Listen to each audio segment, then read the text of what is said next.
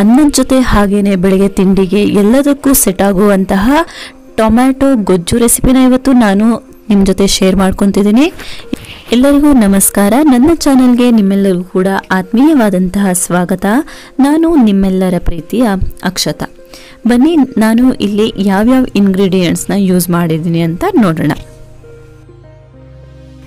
ಮೊದಲಿಗೆ ನಾನಿಲ್ಲಿ ಒಂದು ಮೀಡಿಯಂ ಸೈಜ್ ಆಲೂನ ತಗೊಂಡು ಅದನ್ನು ತುರಿದಿಟ್ಕೊಂಡಿದ್ದೀನಿ. ಆಮೇಲೆ ಈರುಳ್ಳಿ ಮತ್ತು ಟೊಮೆಟೊ, ಕರಿಬೇವಿನ ಸೊಪ್ಪು, ಒಂದು ಐದರಿಂದ ಆರು ಬೆಳ್ಳುಳ್ಳಿ ಹೆಸರು. ಇದಿಷ್ಟು ನಾನು ತಗೊಂಡಿರುವಂತಹ ಇಂಗ್ರೀಡಿಯೆಂಟ್ಸ್ ನಂತರ ನಾನಿಲ್ಲಿ ಒಂದು ಕುಟಾಣಿನ ತಗೊಂಡು ಅದಕ್ಕೆ ನಾನು ಬೆಳ್ಳುಳ್ಳಿನ ಹಾಕಿ ಚೆನ್ನಾಗಿ ಜಜ್ಕೊತಿದ್ದೀನಿ.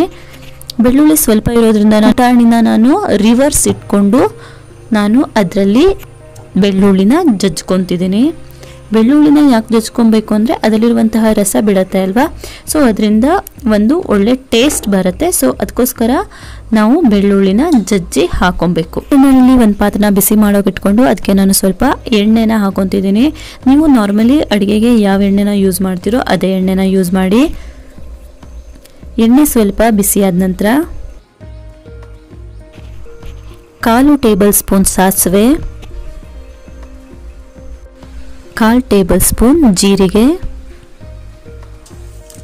ಸ್ವಲ್ಪ ಕೆಂಪಾದ ನಂತರ ಒಂದು ಚಿಕ್ಕ ಗಾತ್ರದ ಇಂಗು. ನಂತರ ಜಜ್ಜಿಟ್ಕೊಂಡಿರುವಂತಹ ಬೆಳ್ಳುಳ್ಳಿ. ಬೆಳ್ಳುಳ್ಳಿನ ಹಾಕಿ ಚೆನ್ನಾಗಿ ಹುರಿದುಕೊಳ್ಳಿ. ನಂತರ ಕರಿಬೇವು. ಒನ್ ಟೇಬಲ್ ಸ್ಪೂನ್ ಉದ್ದಿನಬೇಳೆ ಒನ್ ಟೇಬಲ್ ಸ್ಪೂನ್ ಕಡಲೆಬೇಳೆ ಉದ್ದಿನಬೇಳೆ ಮತ್ತು ಕಡಲೆಬೇಳೆ ಚೆನ್ನಾಗಿ ಕೆಂಪಾಗೋ ರೀತಿಯಲ್ಲಿ ಹುರ್ಕೊಳ್ಳಿ. ಚೆನ್ನಾಗಿ ಹುರ್ಕೊಂಡು ಆದ ನಂತರ ಕಟ್ ಮಾಡ್ಕೊಂಡಿರುವಂತಹ ಈರುಳ್ಳಿನ ಹಾಕಿ ಈರುಳ್ಳಿ ಹಸಿ ಹೋಗೋ ರೀತಿಯಲ್ಲಿ ಚೆನ್ನಾಗಿ ಫ್ರೈ ಮಾಡ್ಕೊಳ್ಳಿ.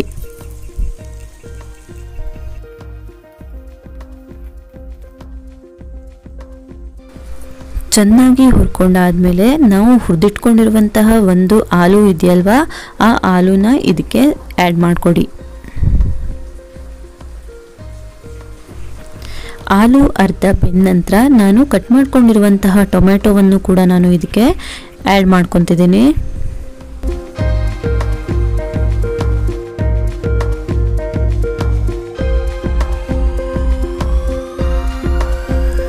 ಆಲೂ ಮತ್ತು ಟೊಮೆಟೊ ಎಲ್ಲ ಚೆನ್ನಾಗಿ ಬೇಯೋ ತನಕ ಕೈ ಆಡಿಸ್ತಾ ಇರಿ. ಇಲ್ಲಾಂದರೆ ತಳ ಹತ್ತೋ ಚಾನ್ಸ್ ಇರುತ್ತೆ. ಚೆನ್ನಾಗಿ ಬೆಂದ ನಂತರ ನಾನು ಇದಕ್ಕೆ ರುಚಿಗೆ ತಕ್ಕಷ್ಟು ಉಪ್ಪನ್ನು ಕೂಡ ನಾನಿಲ್ಲಿ ಹಾಕೊತಿದ್ದೀನಿ.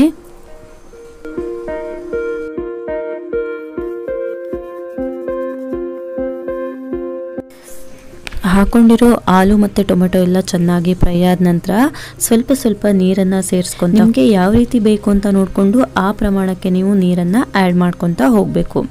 ನಿಮಗೆ ಅನ್ನಕ್ಕೆ ಆದರೆ ಸ್ವಲ್ಪ ತೆಳ್ಳಬೇಕಾಗತ್ತೆ ಬೆಳಗಿನ ತಿಂಡಿಗೆ ಏನಾದರೂ ನೀವು ಈ ರೀತಿಯಾದಂತಹ ಗೊಜ್ಜನ್ನು ಮಾಡ್ಕೊತಿದ್ರೆ ಸ್ವಲ್ಪ ಗಟ್ಟಿ ಬೇಕಾಗುತ್ತೆ. ನಿಮಗೆ ಯಾವ ಥರ ಬೇಕು ಅಂತ ನೋಡಿಕೊಂಡು ಅದಕ್ಕೆ ಸರಿಯಾಗಿ ನೀವು ನೀರನ್ನು ಸೇರಿಸ್ಕೊಬೇಕು. ನಾನಿಲ್ಲಿ ಸ್ವಲ್ಪ ಸ್ವಲ್ಪ ನೀರನ್ನ ಆ್ಯಡ್ ಮಾಡ್ಕೊತ ಚೆನ್ನಾಗಿ ಕುದಿಸ್ಕೊತಿದ್ದೀನಿ.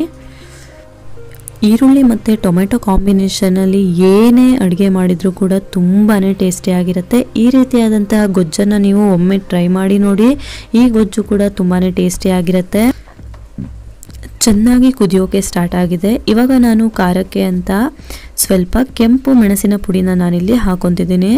ನೀವು ಖಾರ ಎಷ್ಟು ಬೇಕು ಅಂತ ನೋಡಿಕೊಂಡು ನಿಮ್ಮ ಖಾರಕ್ಕೆ ಅನುಗುಣವಾಗಿ ನೀವು ಮೆಣಸಿನ ಪುಡಿನ ನೀವು ಹಾಕೊಬೋದು.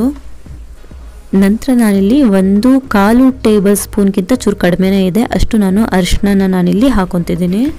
ಈಗ ಒಂದು ಪ್ಲೇಟನ್ನು ಮುಚ್ಚಿ ಚೆನ್ನಾಗಿ ಕುದಿ ಬರೋ ರೀತಿಯಲ್ಲಿ ಚೆನ್ನಾಗಿ ಕುದಿಸ್ಕೊಳ್ಳಿ. ಸಿಂಪಲ್ ಆದ ಮತ್ತು ಟೇಸ್ಟಿಯಾದಂತಹ ಗೊಜ್ಜು ರೆಡಿಯಾಗಿದೆ.